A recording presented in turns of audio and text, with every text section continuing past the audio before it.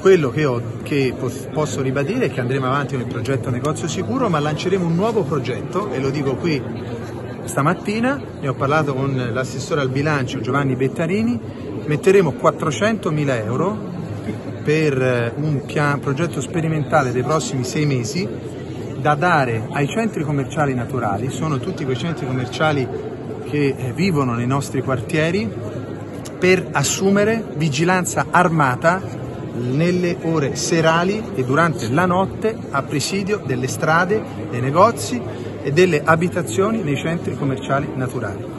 Dopo queste dichiarazioni del sindaco di Firenze, Dario Nardella, si riaccende lo scontro a distanza tra il primo cittadino e il direttore delle Gallerie degli Uffizi, Heike Schmidt, che in una nota dichiara «Faccio i complimenti al sindaco Nardella dopo una feroce polemica due mesi fa contro l'attivazione di un servizio di guardia armata anti-vandali e anti-imbrattamenti alle Gallerie degli Uffizi, propose di sostituire con una vaga educazione al bello e al buono nelle scuole. Finalmente anche lui è arrivato alla ragione». Le guardie giurate armate, aggiunge Schmidt, sono attive alla Loggia dei Lanzi da molti anni, a Palazzo Pitti e al Giardino di Boboli dall'anno scorso e dopo la recente conclusione di un nuovo bando di affidamento nei prossimi giorni saranno rafforzate da un ulteriore servizio diurno e notturno anche sotto il loggiato degli Uffizi. Immediata la replica del sindaco. Il candidato della destra Schmidt, dal comitato elettorale della Galleria degli Uffizi, attacca sulle guardie giurate. Le guardie giurate servono per garantire la sicurezza alle imprese e ai cittadini nei centri commerciali naturali, non per circondare i monumenti artistici. Detto questo, Schmidt pensi al suo lavoro, visto che non è riuscito a gestire il problema dell'uscita di Isozaki, dove, al posto del progetto del grande architetto,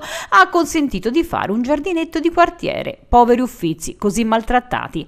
Ma la polemica non si ferma qui e sembra avere l'ultima parola il direttore Schmidt. Il sindaco Nardella sta dicendo ai cittadini che i negozi meritano sicurezza e protezione, mentre la grande arte, i monumenti che costituiscono il cuore, la storia e l'identità di Firenze e dell'Italia no, sono parole che si commentano da sole. Meno male che, almeno per quanto riguarda gli uffizi, ci abbiamo pensato noi.